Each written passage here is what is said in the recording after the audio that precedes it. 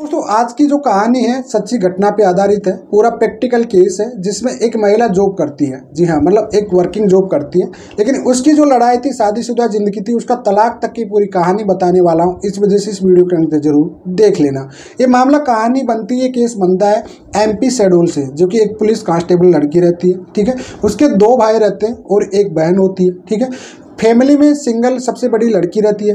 पूरी फैमिली की रिस्पॉन्सिबिलिटी उस पर थी। उसके बाद उसने शादी की। शादी का रिश्ता तीन साल चला, जिनमें से छः महीने में पति पत्नी के बीच में लड़ाई हो गई थी सजरी की और उसके बाद में से उनके बीच में केस चल रहा था और तीन साल के अंदर उनका डाइवोर्स हो गया।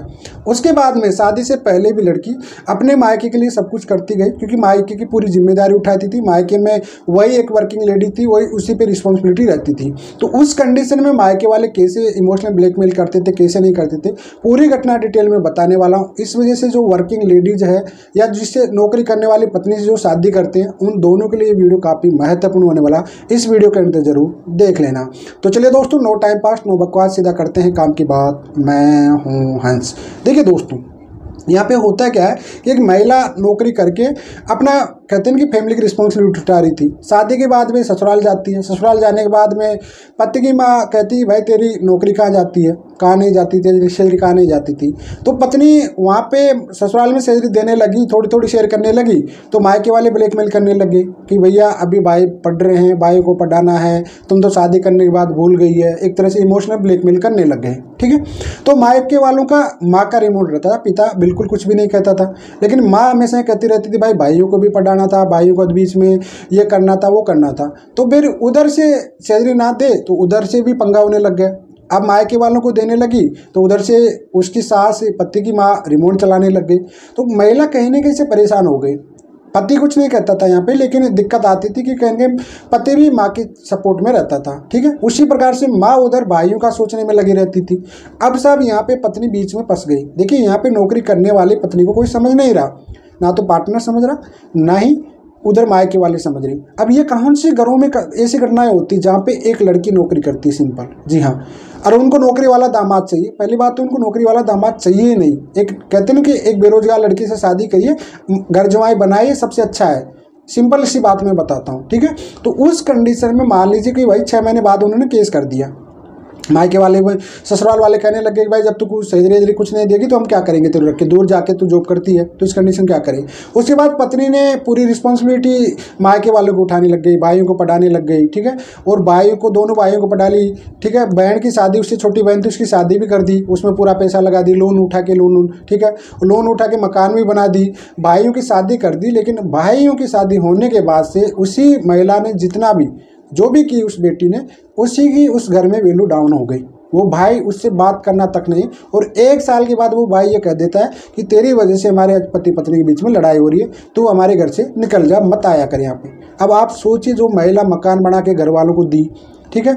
उसके बाद भाइयों को पढ़ाने की खर्चा उठाए बहन की शादी की, और उसी के बाद उसके भाई की बीवी आते उसने मना कर दी, भाई तेरी वजह से हमारा मामला बिगड़ रहा है, ठीक है? तो वहाँ से महिला बहुत आर्ट होके अपने क्वार्टर पर रहने लग गई फिर। सिंगल सी बात है। लेकिन उस चीज़ को एक चीज़ समझ आ गया उस महिला को, तलाक भी हो गया पति की तरफ़ से। अगर वो चाहती तो उसका रिश्ता बच सकता था, शादीशुदा रिश्ता भी बच सकता था, लेकिन उसकी माँ की वजह से वो रिश्ता टूट गया, क्योंकि माँ कहती थी कि भैया भाइयों को पढ़ाना है, ज़िम्मेदारी ये थी, तू बदल गई, वो इमोशनल ब्लैकमेल करने लगे। और उस टाइम पर अगर वाकई महिला को समझ आ जाता तो कहीं कहीं से थोड़ी बहुत परसेंटेज क्योंकि देखो आप कहीं भी नौकरी कर लो, कोई भी महिला होगी, ससुराल में आपको डिस्प्यूट करना ही पड़ेगा। लेकिन ससुराल में पति को एक बात का हमेशा याद रखना है, आप अपने बच्चों के लिए, अपने लिए रहिए, आप अपने परिवार की ज़िम्मेदारी मत उठवा दीजिए, बीवी पे, अन्यथा आपका रिश्ता नहीं टिकने वाला। ये बात आप समझ लेना, ठीक है? तो उसके बाद वो देखिए, पति से तलाक हो जाता है, लेकिन पत्नी को ये बात समझ में आया कि मायके वालों के लिए कितना ही कर लो। जब उसकी माँ से पूछा कि यार, इतना करने के बाद भी ये हो गया तो मायका का एक सवाल था कि भैया, तुम तो किसी और की वंश चलाओगे, हमारे वंशज, बुढ़ापे हम तो हमारे बेटे काम करेंगे। उसके बाद महिला ने एक वर्ड बोला कि भाई, जितना भी कर लो भाइयों के लिए, किसी के घर वालों के लिए, उनके एक भेदभाव वाली रहेगी मेंटलिटी नहीं तो अन्यथा महिला कम करती है कि महिला शादी के बाद में जो अपना हिस्सेदारी तो बराबर की होती है। दो भाई है, तीन भाई जितनी भी है, हिस्सेदारी बराबर ही होती है। लेकिन मायके वाले जहाँ पे सिंगल लड़की जॉब करती है, भाई आई कुछ नहीं करते ना, वहाँ पे उस लड़की पे प्रेशर डाल के उसका तलाक जानबूझ के करा देते। क्यों? शादी तो ये करा देते हैं। शादी तो ये समाज का इतना डर लगता है इनको कि भैया, हम शादी करा देते हैं, ठीक है? नहीं तो लोग क्या कहेंगे? इस चक्कर में शादियाँ तो करा देते हैं लोग। लेकिन बाद में ये लोग है ना, उसी को ब्लैकमेल इमोशनल करके उसका घर बसने नहीं देते। रिश्ता तक तोड़ने की बातें कर देते हैं ये लोग। तेरे को पढ़ाया, इतना इमोशनल उसको ब्लैकमेल करते हैं हद से ज़्यादा। तो सब यहाँ पे एक लड़की का तलाक हो गया। आज की डेट पे लड़की डाइवोर्स है, कोई भी शादी दूसरी करने वाली है, क्योंकि उसको प्रैक्टिकल समझ आ गया पुलिस लाइन में लड़की रहती भी है। उसको पता है कि आए दिन केस देखे ससुराल में जाओगे तो आपको शहरी से वहाँ पे कंट्रोल होगा। इससे अच्छा कि नौकरी ना करे। वो आज ये कहती कि भैया, मैं नौकरी ना करती तो अच्छा होता। और साथ में महिलाओं को ये एक बात समझा दी कि भैया, माए के वालों के लिए माँ बाप है, उसके लिए कर दो। भाई आए फाई आए, इनकी ज़िम्मेदारी मत उठाओ, क्योंकि वो भी बराबर के हिस्सेदार होते हैं भाई। क्यों उठाना उनके लिए? आप एक लिमिट से माँ बाप को करें माँ बाप ज़्यादा इंटरफेयर करें तो माँ बाप से दूर हो जाओ। अपने लिए कमाओ, अपने लिए अपने, अगर शादी अच्छी टिक रही है आपकी, आपके बाल बच्चे तो अपने बच्चों को पढ़ाओ, लिखाओ, सबसे अच्छा यही है, ठीक है? मायके वाले ब्लैकमेल करते रहेंगे जानबूझ के ऐसे फैमिली में। अब देखिए कई लोग कहेंगे, ऐसा हर जगह नहीं होता। जी हाँ मैं भी जानता हूँ हर जगह नहीं होता। कई जगह परिवार बहुत ही सक्सेसफुल होते हैं, बहुत अच्छी जिनमें भाई आए नौकरी करते हैं, अच्छी खासी पिताजी नौकरी करते हैं, बेटी नौकरी करती है, उनमें बिल्कुल इंटरफेयर नहीं करते हैं। सिंपल सी बात है। ठीक है? और कई जगह पिताजी की चलती है, उस घर में भी चाहे कितना ही गरीब पिता होगा, वो अपनी बेटी की नहीं खाएगा बिल्कुल ही। उसने शादी कर दिया, फिर ही है, वो मजदूरी कर खा लेगा। लेकिन माँ का रिमोट जिस घर में चलता है, वहाँ से तो भैया फिर एक लड़की का घर टूट के ही मानेगा। ये बात समझ लो। अब यहाँ पर एक लड़की का एंड द एंड रिज़ल्ट ये निकल के आता है कि भैया, कोई किसी का नहीं होता। ससुराल वाले भी सैलरी की लड़ाई देख के शादी करते हैं सैलरी देख के शादी करते हैं सैलरी नहीं दोगे, उस दिन रिश्ता खत्म हो जाएगा।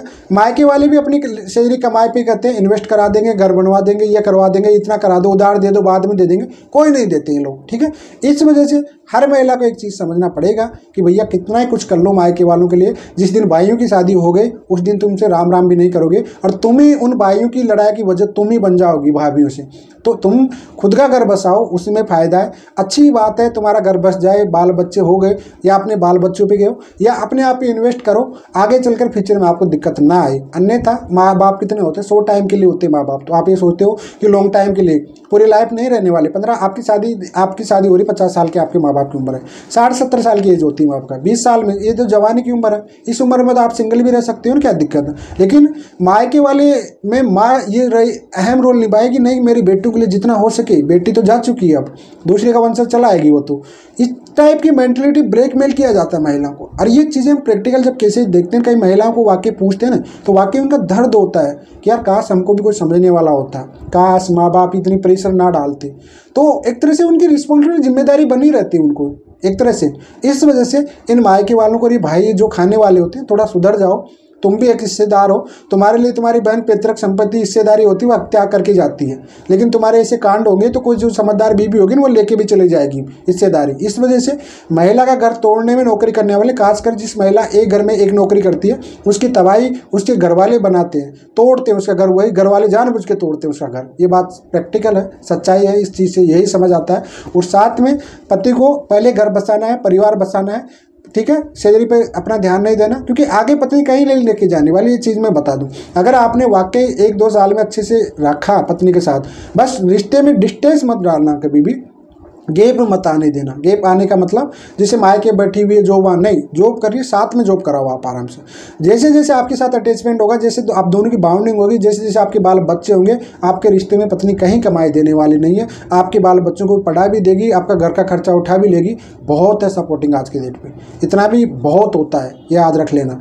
इस कंडीशन में आपको समझना पड़ेगा, पति को समझना पड़ेगा, ना कि आप उसकी सैलरी पे नज़र रखोगे। अन्यथा आप बुरे पस जाओगे। और एंड में आपको कहते नहीं, आप भी तलाकशुदा हो जाओगे, कोई मतलब है नहीं। एक अच्छी खासी पार्टनर को आप खुद होगे। और लड़कियों को भी समझना पड़ेगा कि भैया धीरे धीरे जो मायके की तरफ़ आप ज़िम्मेदारी उठाती रहती है लगाव रखती है, मायके वाले आपका घर बिगाड़ने में बहुत ज़्यादा अहम रोल होता है। देखो, सबके माँ बाप पढ़ाते लिखाते आपको नहीं पढ़ा रही, ठीक है? जो परंपराएँ आप फिर शादी परंपरा के अनुसार क्यों करती हो? फिर तो आप एक घर जमाए ढूंढना चाहिए ना, आपको नौकरी वाला दूल्हा नहीं ढूंढना चाहिए। उस कंडीशन में भी आपने, अपने घर पे रखना चाहिए पति देव को। तो उस कंडीशन में कहीं ना कहीं से आपको एक चीज़ समझना पड़ेगा कि नहीं आपको खुद की मेच्योरिटी आपकी खुद के दिमाग से चलना पड़ेगा और अपने एक सेविंग का पार्ट रखना ही पड़ेगा आपको। जी हाँ। क्यों? कई बार महिलाओं के मैं इसी से केस देखा हूँ एक महिला का था, जो राजस्थान की महिला थी।